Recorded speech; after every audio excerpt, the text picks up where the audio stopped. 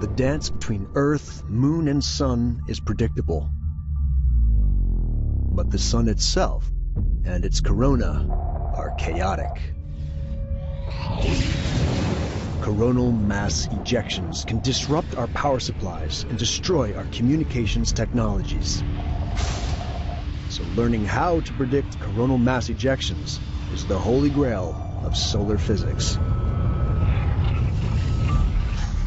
The sun is not some static, unchanging ball of gas, right? It is ejecting parts of itself into the solar system.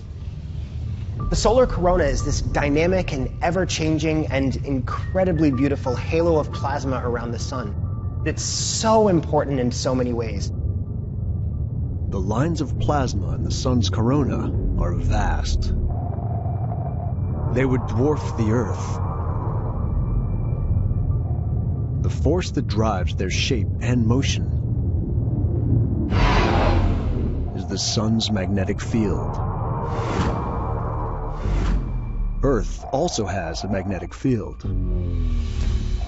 It's formed by our planet's spinning liquid metal core and gives us our magnetic north and south poles. But the sun has even stronger magnetic fields, created by the movement of electrically charged particles churning beneath the surface.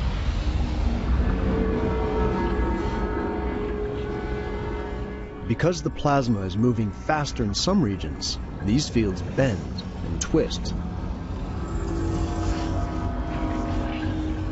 Until some break through the sun's photosphere into the corona, where they form giant arches called coronal loops. Because these magnetic fields trap electrically charged particles, they show up as the bright lines and loops of plasma we see in the corona. But these field lines can snap. The plasma is now free of its chains, its anchors from the sun, and it's free to blast off into space. In a coronal mass ejection, the corona can throw a billion tons of plasma out into space at speeds of almost 2,000 miles per second.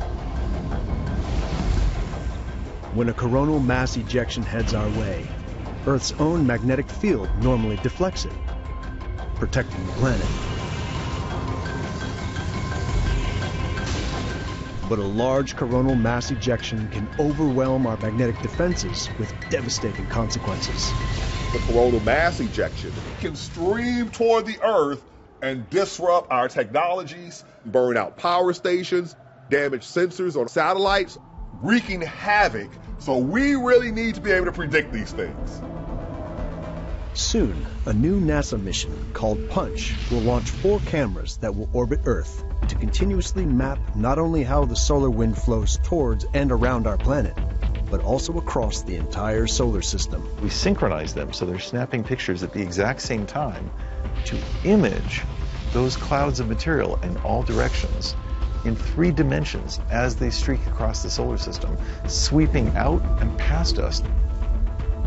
With a system like Punch, we would be able to track the events all the way across the solar system. This is revolutionary. We expect to be able to greatly improve forecasting of space weather